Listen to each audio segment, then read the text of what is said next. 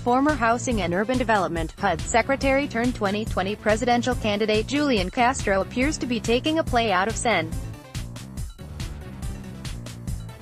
Kamala Harris's DCA gun control playbook.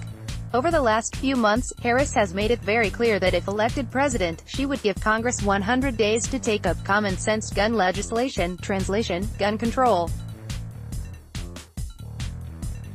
If they fail to act, she would use executive action to make her gun control agenda reality.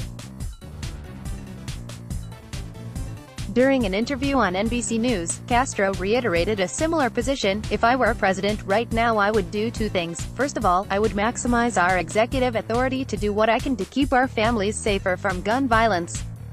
For instance, we would immediately redefine who is a firearms dealer so that anyone who sells more than five firearms in a year is classified that way and has to conduct universal background checks, Castro said.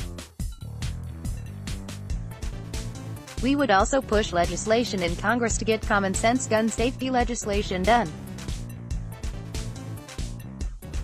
We would put as much pressure as possible on swing state Republican senators who are up for re-election in 2020 to get them to go with something that we can compromise on, at least universal background checks. I think we can do more than that in the future, according to Castro. Politicians repeatedly promise to do something about mass shootings but there's always inaction. This promise that we're going to do something, that we're going to look at it, but they never actually do it, he explained. The biggest lies that the president has told include that he would do something about universal background checks. He said that twice after Parkland and then after El Paso and Dayton and he's gone back on his word.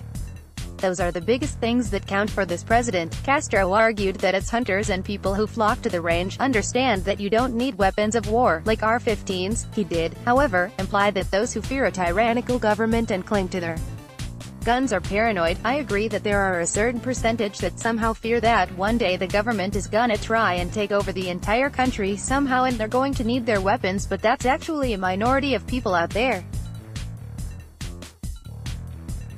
That's not a majority of people, he said.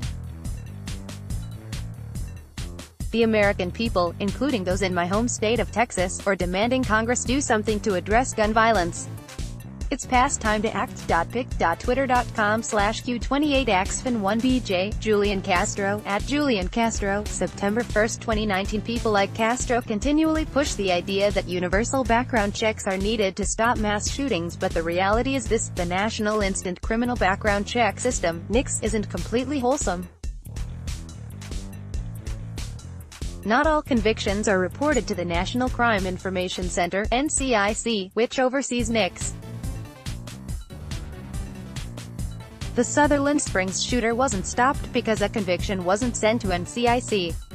The Charleston shooter was allowed to get his hands on a firearm because of a paperwork error between a NICS worker and law enforcement. Democrats continually push this idea of needing universal background checks, which would expand the NICS yet we don't have a wholesome system. Fix NICS was passed, which is a great first step. Additional convictions have been added but it's still not complete. People are still slipping through the cracks. Why would we expand a flawed system?